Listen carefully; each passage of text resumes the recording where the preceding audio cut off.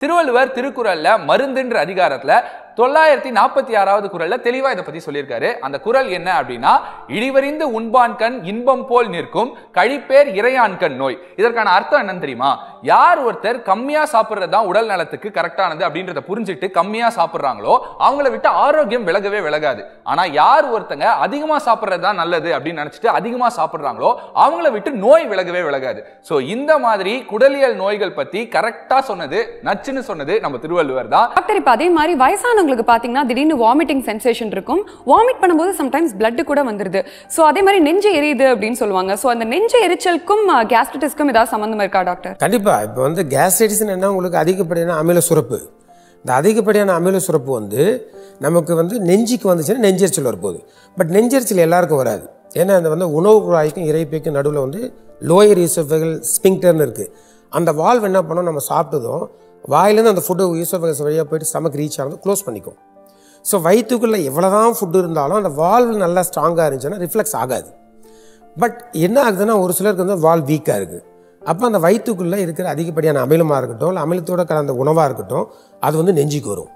அப்போ அவங்களுக்கு வந்து சிவியராக நெஞ்செரிச்சல் வரும். சம்டைம்ஸ் வந்து வாயில் புண்ணு வரலாம் பல்லு கூசலாம்.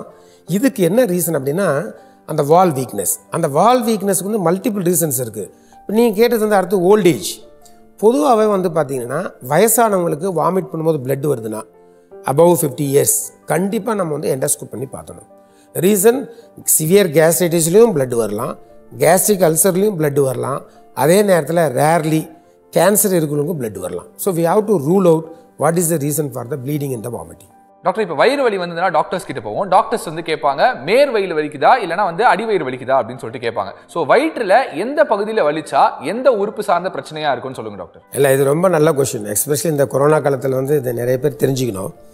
பொதுவாக வந்து வயிற்றில் வந்து நம்ம ஆர்கன் அங்கங்கே அங்கங்கே இருக்கிறத வந்து பேஸ் பண்ணி அவங்களுக்கு எந்த இடத்துல வலி இருக்குன்னு அவங்க சொல்கிறாங்களோ அதை பொறுத்து தான் நாங்கள் வந்து டெஸ்ட் பண்ணி ஐடென்டிஃபை பண்ணுவோம்.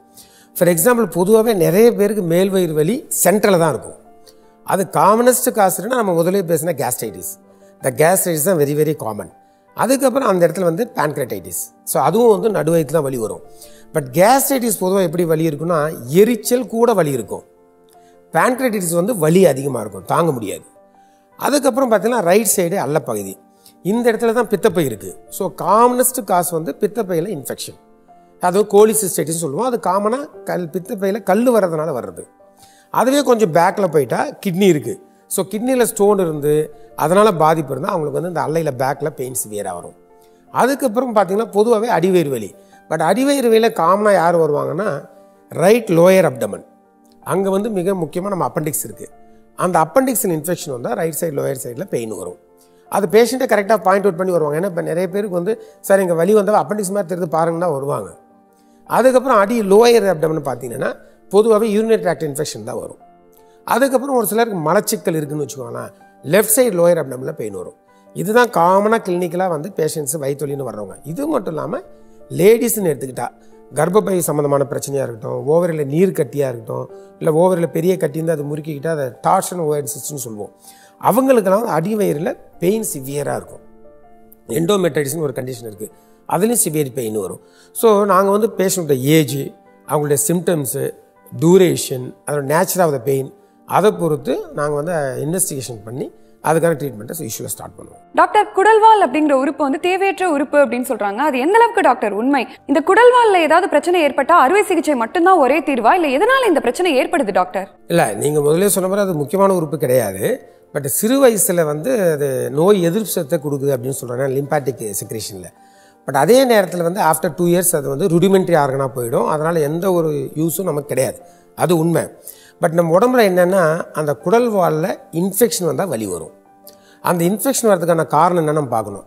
பொதுவாகவே நம்ம குடலில் பார்த்தீங்கன்னா மைக்ரோப்ஸ்ன்ட்டு நிறைய நமக்கு மைக்ரோ ஆர்கானிசம்ஸ் இருக்குது டைஜஷனுக்கு அதான் ரொம்ப ரொம்ப முக்கியம். அது இல்லாமல் நம்ம பாக்டீரியா வந்து இன்ஃபெக்ஷன் ஆகிடுச்சின்னு வச்சுக்கோங்களேன். அவங்களுக்கு என்ன ஆகும்? டயரியா இருக்கும். ஸோ ஒரு சிலருக்கு அடிக்கடி டயரியா வந்தால் அந்த குடல்வால் இன்ஃபெக்ஷன் வரும். அதே நேரத்தில் ஒரு சிலர் மலச்சிக்கல் வருதுன்னு வச்சுக்கோங்களேன். அவங்களுக்கு நாங்கள் மோஷன் கெட்டியாகிட்டு அந்த குடல்வாலை போய் பிளாக் பண்ணி விட்ருவோம் அவங்களுக்கும் வந்து குடலால் இன்ஃபெக்ஷன் வரலாம். ஒரு சிலருக்கு அஃப்கோர்ஸ் பூச்சி நிறைய வயிற்றில் இருக்கும். இந்த நாக்கு பூச்சி கீரை பூச்சின்லாம் சொல்லுவோம். அந்த பூச்சி என்ன பண்ணும்? அந்த குடல்வாலை பிளாக் பண்ணிவிடும் அவங்களுக்கு வந்து அப்பண்டிசைட்டிஸ் இன்ஃபெக்ஷன் வரும். இது வந்து காமனாக வர்றது தான் பட் எல்லாருக்கும் ஆப்ரேஷன் பண்ணணுமான்னா கிடையாது. பொதுவாக யார் ஒருத்தருக்கு வந்து ஆரம்ப ஸ்டேஜ்லேயே லைட்டாக பெயின் இருக்கும்போது வராங்க எக்ஸாமின் பண்ணுறோம் அவங்களுக்கு வந்து மலச்சிக்கல்னால அடப்பு கிடையாது. சாதாரண இன்ஃபெக்ஷனாக வந்திருக்கு அப்படின்னா மெடிசின்ஸை சரியாயிடுவாங்க. பட் அதே நேரத்தில் அந்த குடல்வால் இன்ஃபெக்ஷன் அதிகமாகிடுது இல்லை மலச்சிக்கல்னால மோஷன் போய் பிளாக் பண்ணி அதாவது ஃபீக்கோல்டித்துன்னு சொல்லுவோம். அதாவது மோஷனே கல் மாதிரி போயிட்டு அந்த இடத்துல பிளாக் பண்ணிடும். அந்த மாதிரி பிளாக் பண்ணிட்டா அதுக்கப்புறம் அதுக்கு ரத்த ஓட்டம் குறைஞ்சிடும். என்ன ஆகும்? கம்ப்ளீட்டாக அந்த அப்பண்டிக்ஸ் வந்து செப்டிக் ஆகிடும் அந்த மாதிரி சிவியர் இன்ஃபெக்ஷனுக்கு கண்டிப்பாக ஆப்ரேஷன் பண்ணணும். அதை வந்து கிளினிக்கில் அங்கே பார்த்துட்டு அவங்களுக்கு அல்ட்ராசவுண்ட் ஸ்கேன் மூலிமா அப்பண்டிக்ஸ் இருக்கா இல்லைன்னு பார்ப்போம்.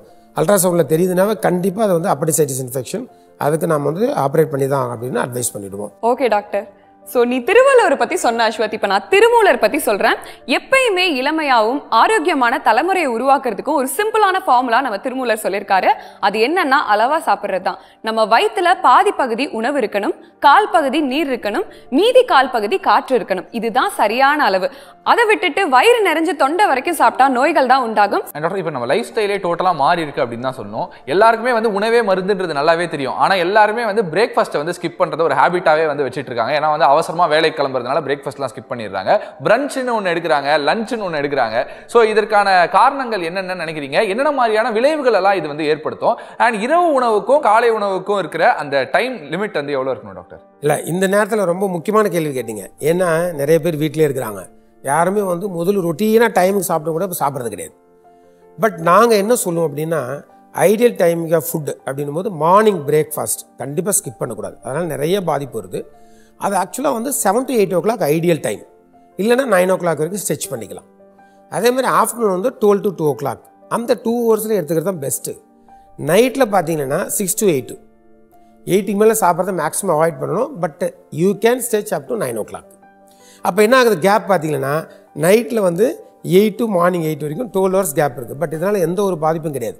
நம்ம சர்க்காட்டின் இதில் வந்து பாடி வந்து அது அடாப்ட் ஆகிருக்கு ஆனால் தூங்குறதுக்கு ரெண்டு மணி நேரத்துக்கு முன்னால் சாப்பிட்றது ரொம்ப ரொம்ப நல்லது. அதில் நீங்கள் வந்து குவாலிட்டி ஆஃப் ஃபுட் அந்த கேரக்டர் ஆஃப் ஃபுட்டுன்னு எடுத்துக்கிட்டிங்கன்னா பொதுவாக மார்னிங்கில் வந்து ஹெவி டயட் எடுக்கலாம். ஏன்னா நம்ம ஹோல் டே ஒர்க் பண்ணுறதுக்கு full energy source and resource என்னென்னு பார்த்தீங்கன்னா மார்னிங் எடுக்கிற பிரேக்ஃபாஸ்ட் தான். அந்த பிரேக்ஃபாஸ்ட் வந்து ஹெவியாக எடுத்துக்கணும். ஆஃப்டர்நூன் வந்து ஒரு மீடியம் லஞ்சு ஹெவி லஞ்சு எடுக்கவே கூடாது. Night very light dinner soup salads fruits அந்த மாதிரி எடுத்துக்கலாம். அதுக்கு அடுத்தது மிக முக்கியமான நிறைய பேர் என்னென்னா தேவையான தண்ணியை குடிக்க மாட்டாங்க. உட்காந்த இடத்துல எஸ்பெஷலி ஐடி பீப்புளாக இருக்கட்டும் நீங்கள் சொல்கிற மாதிரி ஒர்க் ஃப்ரம் ஹோம் பீப்புளாக இருக்கட்டும் சிஸ்டத்தில் உட்காந்துட்டாங்கன்னா கண்டினியூஸாக eight hours ten hours twelve hours work இருக்குது அந்த டயத்தில் தண்ணி சரியாக குடிக்க மாட்டாங்க டைமுக்கு ஃபுட்டு சரியாக எடுக்க மாட்டாங்க. பட் தண்ணி தண்ணி வந்து நமக்கு ரொம்ப ரொம்ப முக்கியம் டைஜஷனுக்கு பொதுவாக அது வந்து fifty ML per kilogram body weight எடுக்கணுன்றது தான் கால்குலேஷன் ஃபார் எக்ஸாம்பிள் ஒருத்தர் அறுபது கிலோ வெயிட்டில் இருக்காங்கன்னா ஒரு நாளைக்கு மினிமம் ஒரு த்ரீ லிட்டர்ஸ் தண்ணி குடித்தாதான் அவங்க வந்து தேவையான அளவு தண்ணி எடுக்கிறாங்கன்னு அர்த்தம். அப்போ தான் அவங்களுக்கு வந்து கரெக்டாக டைஜஷன் பெட்டராக இருக்கும். ஏன்னா வாட்டர் வந்து main source for everything in our body function skin வந்து ஷைன் ஆகணும். டைஜஷன் பெட்டராக இருக்கணும். மூச்சு வருது ஃப்ரீயாக இருக்கணும். மலச்சிக்கல் இருக்கக்கூடாது. யூரினேஷன் பெட்டராக இருக்கணும் அப்படின்னா அடிக்குவேட் வாட்டர் வந்து ரொம்ப ரொம்ப ரொம்ப ரொம்ப முக்கியம். டாக்டர் இப்போ கோவிட் நோய் தொற்றை பற்றி பேசணும்னா சுவை மனம் இது ரெண்டுமே வந்து அவங்களுக்கு இருக்காது அப்படிங்கிறது பொதுவான விஷயம் எல்லாருக்குமே தெரிஞ்ச விஷயம் தான் ஆனால் ஒரு சில பேருக்கு பார்த்தீங்கன்னா ரெண்டு மூணு நாளில் சரியாயிருது. இன்னொரு சில பேருக்கு பார்த்தீங்கன்னா வாரக்கணக்கில் அது வந்து எக்ஸ்டெண்ட் ஆகுது. ஸோ அதுக்கும் செரிமான மண்டலத்துக்கும் ஏதாவது சம்மந்தம் இருக்கா டாக்டர்? பொதுவாக இந்த கொரோனா வைரஸ் என்ன பாதிப்பு ஏற்படுத்தும் அப்படின்னா எல்லாருக்கும் ஒரே மாதிரியான பாதிப்பு ஏற்படுத்தாது. ஒரு சிலருக்கு மைல்டு இன்ஃபெக்ஷன் ஒரு சிலருக்கு மாடரேட் இன்ஃபெக்ஷன் ஒரு சிலர் severe infection based on the age அதோடைய சிம்டம்ஸ் சேஞ்ச் ஆகுது. அதே நேரத்தில் வந்து அவங்களுக்கு residual effect of the corona infection சொல்லுவோம். எப்படின்னா அது வந்து க்யூர் ஆனாலும் அதுக்கப்புறமே அதனுடைய பக்க விளைவுகள் உடம்புல இருந்துகிட்டே இருக்குது பட் எல்லாருக்கும் ஒரே மாதிரி இருக்கிறது கிடையாது. ஒரு சிலருக்கு அந்த டேஸ்ட் ஒரு மூணு நாளில் மறுபடியும் ரிகவர் ஆகிட்டு நார்மல் ஆகிடுச்சுன்னு சொல்கிறாங்க ஒரு சிலர் வாரக்கணக்கில் எனக்கு வந்து டேஸ்ட்டே தெரியல ஸ்மெல்லு தெரியல அப்படின்றாங்க. ஒரு சிலர் வந்து மாதக்கணக்கில் கூட இருக்காங்க. ஸோ இதுக்கு மெயினாக ரீசன் என்ன? அந்த கொரோனா வைரஸோட எஃபெக்ட் இந்த பாடி தான். ஸோ எந்த அளவு அது சிவியராக பாதிக்குதோ அந்த அளவு அந்த ரெசிடுவல் ப்ராப்ளம் இருந்துகிட்டே இருக்குது அதனால் வந்து ஹோல் ஜிஐடி எஃபெக்ட் ஆகட்டும் ரெஸ்பிரேட்டரி சிஸ்டம் அஃபெக்ட் ஆகிறதாகட்டும் இந்த ஆல்ஃபேக்ட் நவ் அஃபெக்ட் ஆகிட்டு அதனால் டேஸ்ட் போகிறதா இருக்கட்டும் இது வந்து பர்சன் டு பர்சன் வெரி ஆகுது. ஏன்? இன்ஃபேக்ட் நீங்கள் பார்த்தீங்கன்னா நம்ம ட்ரீட்மெண்ட் கொடுக்கும்போது எல்லாருக்கும் ஒரே மாதிரி வந்து ரிக்கவரி வர்றது கிடையாது. ஒரு சிலர் பார்த்தீங்கன்னா அதே செட் ஆஃப் மெடிசின்ஸ் அதே சிம்டம்ஸ் இருக்கவங்களுக்கு கொடுக்கும்போது த்ரீ டு ஃபைவ் டேஸில் நல்லா ரிகவர் ஆகிடுறாங்க ஒரு சிலர் பார்த்தீங்கன்னா ஒரு வாரம் எயிட் டேஸ் டென் டேஸ் வரைக்கும் இருக்கிறாங்க. So individual body reaction to virus டிஃப்ரெண்ட்டாக இருக்குது அதனால தான் முடிஞ்ச அளவு இந்த வைரஸ் இன்ஃபெக்ஷன் வராமல் பார்த்துக்கிறது better so prevention is always better rather than taking the treatment for the virus but இந்த இடத்துல முக்கியமான என்ன சொல்லுவேன்னா கொரோனா வைரஸான சிம்டம்ஸ் நிறைய பேருக்கு தெரியும். பட் ஆரம்பத்திலேயே இன்ஃபெக்ஷன் இருக்குன்னு தெரிஞ்சால் உடனடியே டாக்டரை வந்து பார்த்துட்டா குயிக்காக நம்ம வந்து ரிகவர் பண்ண முடியும். கொஞ்சம் லேட் பண்ணால் கூட இது வந்து சிவியராக பாதிச்சிடுது. அதை வந்து அவாய்ட் பண்ணுறது நல்லது. ரொம்ப ரொம்ப நன்றி டாக்டர் வணக்கம். இன்னைக்கு நம்ம நிகழ்ச்சியில குடலியல் அறுவை சிகிச்சை நிபுணர் டாக்டர் ஆர் கண்ணன் அவர்கள் இணைந்து வயிறு மற்றும் குடல் சார்ந்த பிரச்சனைகள் பத்தியும் அதற்கான தீர்வுகள் பத்தியும் சொல்லியிருந்தாங்க. கண்டிப்பா எல்லாருக்கும் யூஸ்ஃபுல்லா இருந்திருக்கும் நம்புறோம். இதே மாதிரி வேற ஒரு நிகழ்ச்சியில உங்களை வந்து சந்திக்கிறோம். அதுவரை உங்களிடமிருந்து விடைபெறுவது உங்கள் அஸ்வத் மற்றும் ஐஸ்வர்யா முத்துஷிவம் நீங்க பாத்துட்டு இருக்கிறது வணக்கம். தமிழா வழங்குவோர் பூமெக்ஸ் வெஸ்டர்ன் பிரீட்ஸ். உடன் வழங்குவோர் லெவ் ஸ்டைன்ஸ்டன் காஃபி.